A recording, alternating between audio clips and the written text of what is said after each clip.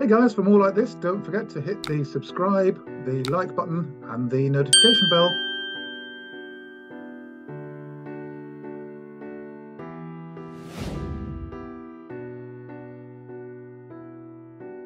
Hey everybody, it's Kevin Wadsworth here from NorthStarBadCharts.com. And uh, those of you that don't really know much about me, I'm a technical chart analyst and a scientist by trade, a meteorologist. My background is in forecasting the future in terms of atmospheric conditions and uh, and particularly for um, military aviation. So that's my background, and I've got a sort of very scientific approach to uh, trying to predict and gather the evidence for where things are going over the next few years. And that applies to things like the stock markets, it applies to commodities, precious metals, and, and all that kind of stuff, and also to currencies. So I've uh, I've produced a US dollar index chart, which I've been tracking for some time, and I've um, I've been doing a little bit of work around the US dollar milkshake theory as put forward by Brent Johnson at Santiago Capital. Now, there's a very very good um, video podcast if you haven't seen it um, that is really worth watching. And um, I'm just going to share my screen, turn my camera off. If you just give me a moment to do that. Okay, that's the screen sharing switched on now. I'll just glance over here and turn the video camera off. So this is the, um, the tweet I'm talking about, Santiago Capital um, at Santiago AU Fund. And if you click on uh, this particular um, video here, this particular uh, podcast, it explains very, very clearly the uh, background to the US dollar milkshake theory recorded by the guys at uh, Real Vision there. And the theory is, as I say, it's very clearly well explained, and it's just um, a, a, few short minutes, and it's really worth watching it because it does give you uh, an idea about the dynamics behind the global usage of the US dollar and what its implications uh, may be going forwards. Now, as a technical chart analyst, I'm really wanting to find the evidence for the US dollar milkshake theory, and I'm not really aware of any technical chart analyst that has spent a great deal of time trying to do that. Um, so I've, I've, I've done that and produced a chart that hopefully Brent Johnson and um, anyone else who's interested in the US dollar milkshake theory will um, will appreciate. Um, so this is the evidence-based chart that I'm talking about that I've produced, and I'm just going to talk you through it because it's it's important to to understand um, the, the two main possible scenarios here. Now, they, they hinge for me as a technical chart analyst over how you treat this very steep incline that um, I've labeled as zone one that took place during the late 1970s and into the early to mid 1980s. So uh, the back end of the 1970s, this is when gold peaked, of course, around about 1980. And then the US dollar index went on a, an absolute, you know, scream of a, a bull run. And one way of viewing this is that when the US dollar came off of the gold standard in the uh, early to mid 1970s, a, a, a, an event began to unfold and uh, effectively um, the US dollar, free from its shackles, exploded very, very strongly versus all other um, major global currencies. So the US dollar index rose to a value that was over one 160.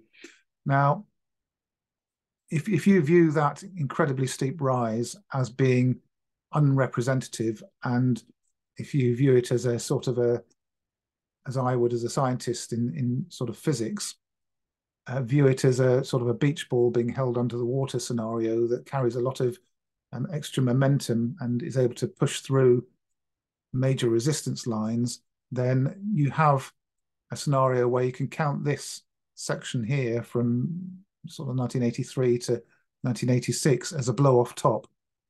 And then what happened is that the US dollar index settled into a pattern that was contained by a major support line and a major resistance line.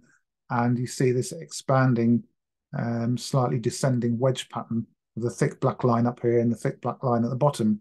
And all of the price action of the US dollar index fits within that, except for this blow off top. Now, if that is the case, then the milkshake theory um, may prove to be incorrect because we've hit the resistance line here, major resistance line, and we're now declining. And I think, in my view, highly likely to reach point A here. Now, you'll notice that zone one, zone two, and zone three are all bearish rising wedges. They're bearish rising chart patterns. Any technical chart analyst will tell you that these sort of rising patterns, when they break to the downside, the bearish um, potential is unleashed, and you move from being in a bull market to being in a, in a very clear bear bear market. And uh, over at NorthStarBadCharts.com, we label these lines as sleep mode lines because what's happening is that the stock, the share, the commodity, or in this case, the currency that breaks down is going to sleep. Okay, it's in sleep mode and it's in its slumber mode all the way through this period here. And then it wakes up again when it breaks out ab above major overhead horizontal resistance. And you can see these 15 degree angles that kind of spookily um, develop every single time. This 15 degree angle developed in the 1970s, it developed in the 1990s, and it developed throughout the early 2000s until we got the breakout in 2014 there. And each time we get a rising pattern, the bearish pattern, it's um, at, at a shallower angle. Now, what's happened now is that if the milkshake theory is going to um, hold water, uh, or hold milk, if you pardon the pun, um, then the milkshake line needs to be active. So this is the milkshake line. And if you draw your attention to the lower major support line and the milkshake line, then what you're viewing is a bullish descending wedge bound by the major support line at the bottom and the milkshake line.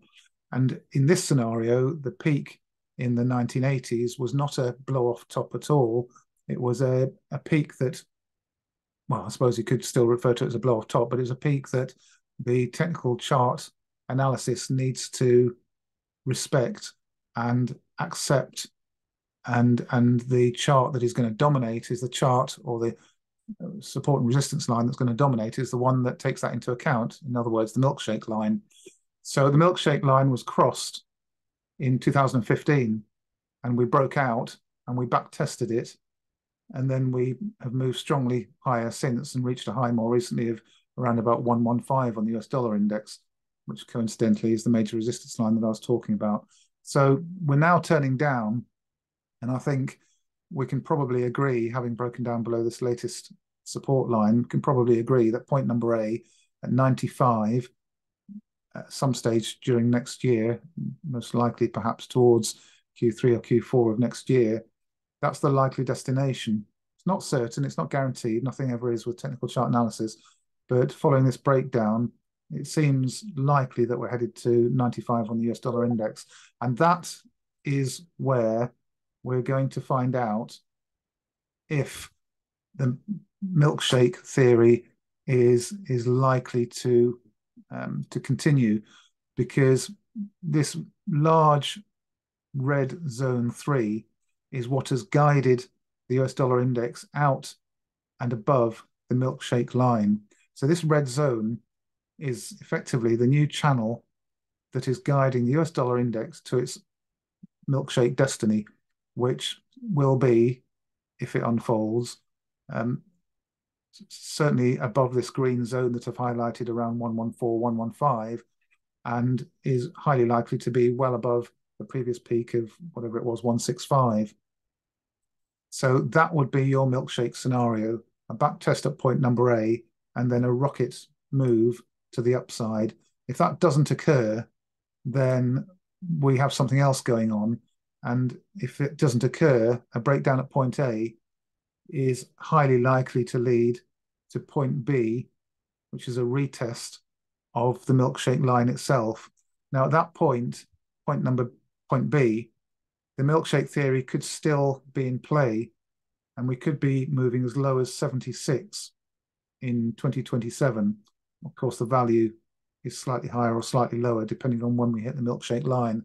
And that is where the real test comes in because a breakout from a, a bullish descending wedge can have a back test And we have actually already had the back test in 2018.